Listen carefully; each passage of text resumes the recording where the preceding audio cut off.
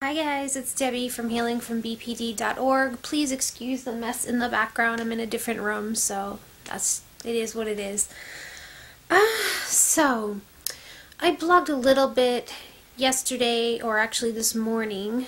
I posted it, but I blogged it last night on my second blog, which is mydailydbt.com, where I'm sharing snippets of personal experience, but mostly skills focused posts Yes, you want to say hi? He always wants to say hi to you guys. Hello from Frankie. Um, so it's a more skills focused blog uh, as opposed to healing from bpd.org. That was Frankie getting up there, um, which is usually much more personal, but it's changing. You guys can see all about that if you go to that website.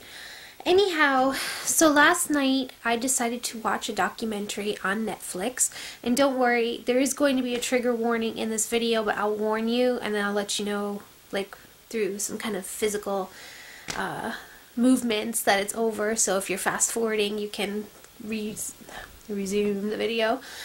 Okay, so um, I decided to watch a documentary last night on Netflix. It was one of those it's recommended for you type of things.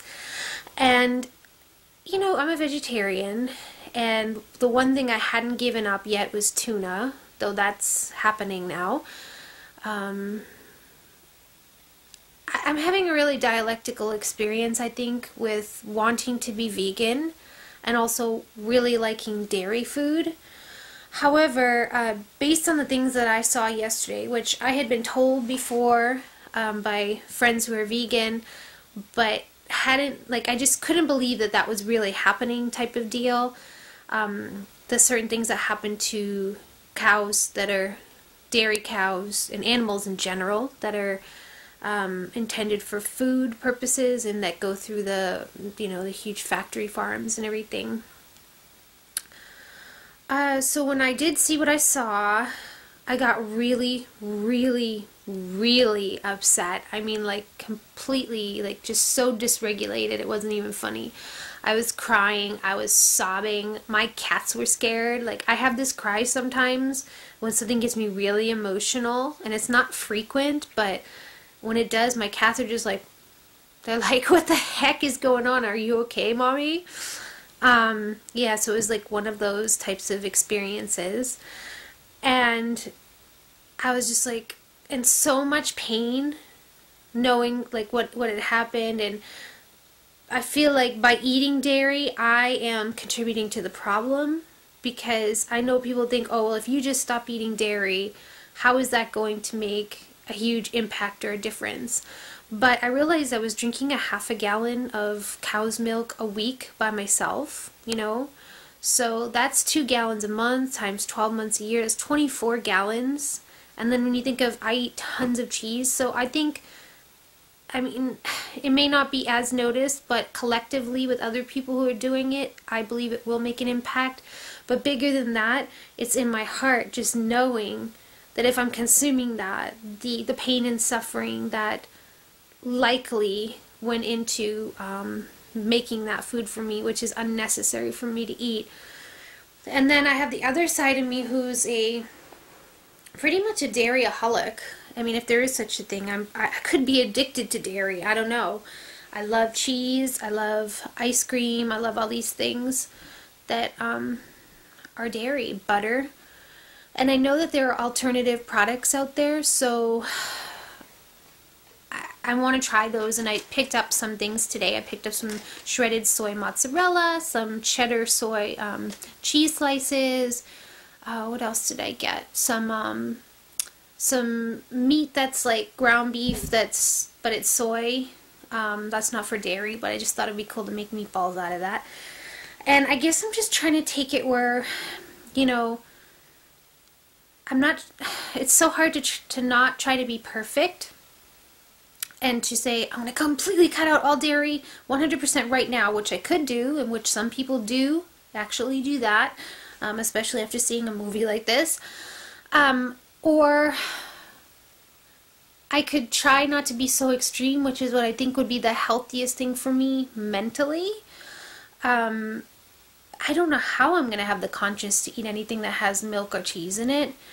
But then I know that it's been a, those have been favorite foods of mine for a long time. So basically what I'm doing is buying some of the alternative products and putting them into the mix. Like I bought some vanilla soy milk and ever since I got it yesterday, that's I, I stopped drinking the cow's milk.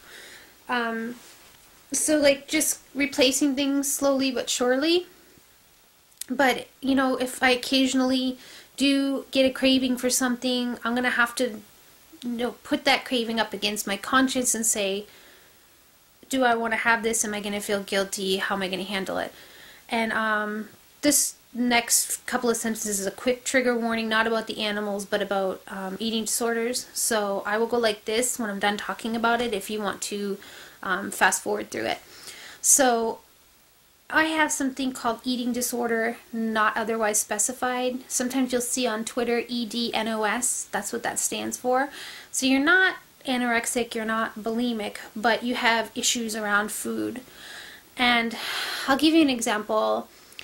It hasn't happened in a long time, thank goodness, but there will be times where I'll feel like I don't have an appetite and I have to force myself to eat.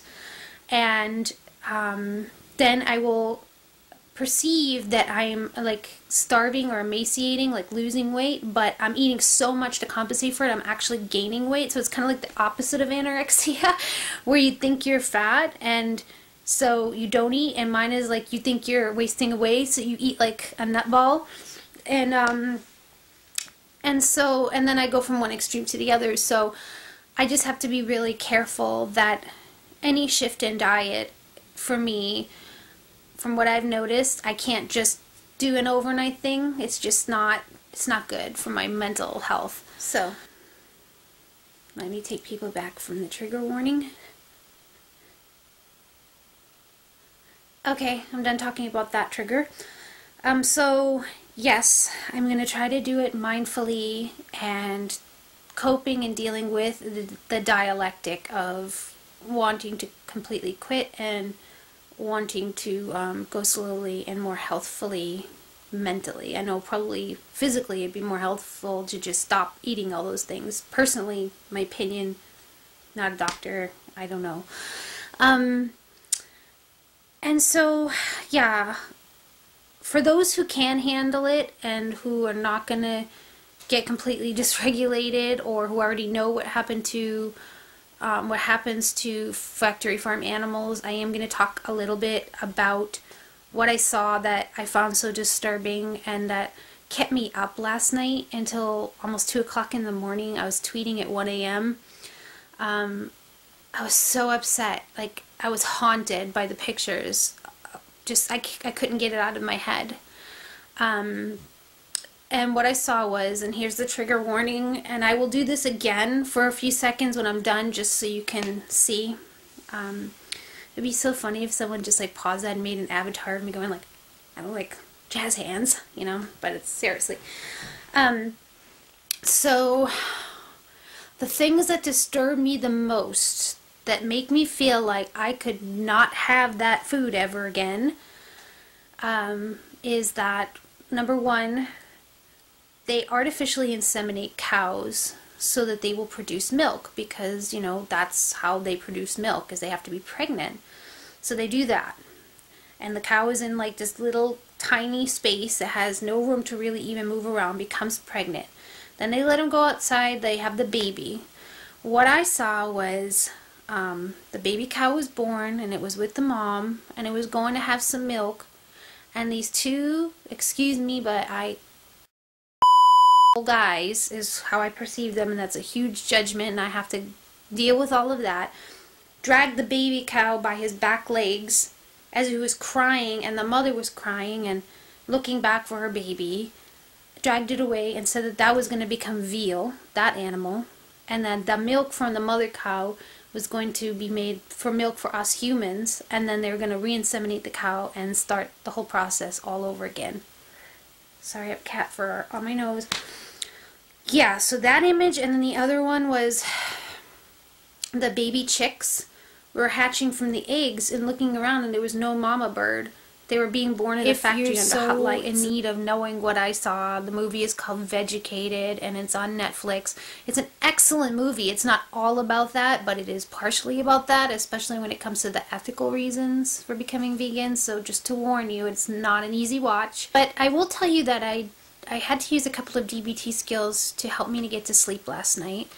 One of them was uh, counting the breath.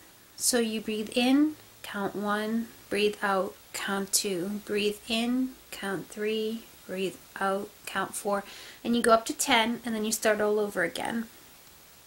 And often what happens is you'll lose track of the count and you just start over. And that happened to me a few times. After a couple of minutes of doing the mindful breathing, I did feel a lot more relaxed and my mind felt a little bit like more focused on what I was doing. Um, I had to radically accept that those things are going on in the world, probably even as I lay in my bed. It was going on somewhere in the world, uh, that I can't stop it all. I can only do my part, and that I just needed to focus on getting to sleep and taking care of my body at that moment in time. And so I did more breathing exercises, and eventually I fell asleep, which was wonderful. Um, I didn't see how I was going to. First thing on my mind, one of the first things on my mind this morning was those images. Again, though, I can't can't say otherwise because that's how it was. So I did what I needed to do. I went to the grocery store, bought some alternative products, had my soy milk in the morning, had um, a delicious vegan burrito from Chipotle. It was really good. Um, and yeah, so that's what's going on right now. And just noticing how dysregulated I became um, I love animals, so it's just really hard to hear anything about animals suffering. I just, eek. So anyhow, thanks for watching, and I will continue to practice applying skills as I cope with the changes that I'll be going through.